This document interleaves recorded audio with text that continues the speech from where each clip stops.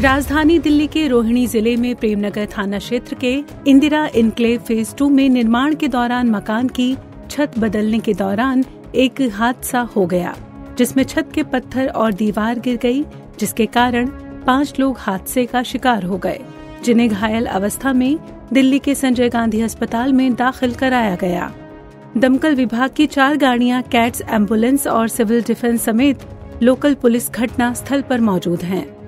लापरवाही और नियमों को दरकिनार कर निर्माण करने के दौरान होने वाला ये कोई पहला हादसा नहीं है, जिसका खामियाजा काम कर रहे मजदूरों को उठाना पड़ रहा है। हर रोज ठेकेदार और मकान मालिक लापरवाही से निर्माण कार्य करवाते हैं, जिसका नतीजा इसी रूप में सामने आता है। पुराना मकान तो है ही। बहुत पुराना दीवार था इसका। अब इसके पुराने दीवार के ऊपर किस आधार पर निर्माण प्रारंभ हुआ, ये हमें जानकारी नहीं है। लेकिन बहुत दुखद घटना है और इस प्रकार के निर्माण कार्य करने वाले लोगों को चिंतन करना चाहिए कि उनको पुरानी दीवार पर निर्माण कैसे करना है। और जिस प्रकार का निर्माण इन्होंने किया, उसका परिणाम ये है कि आज चार से पाँच लोग घायल हो गए हैं और बुरी तरह से घायल हैं।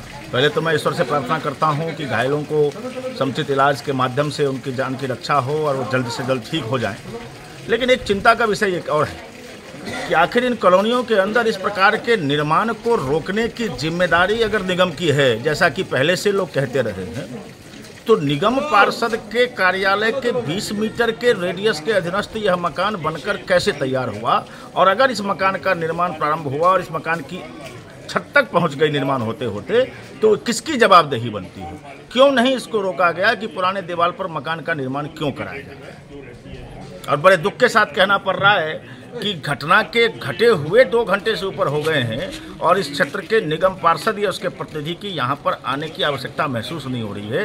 यहाँ की आम जनता के प्रति उनकी कितनी संवेदनशीलता है और कितनी जवाबदेही है, ये चिंता का विषय फ़िलहाल प्रेमनगर थाना पुलिस ठेकेदार और मकान मालिक के खिलाफ कार्रवाई की बात कर रही है।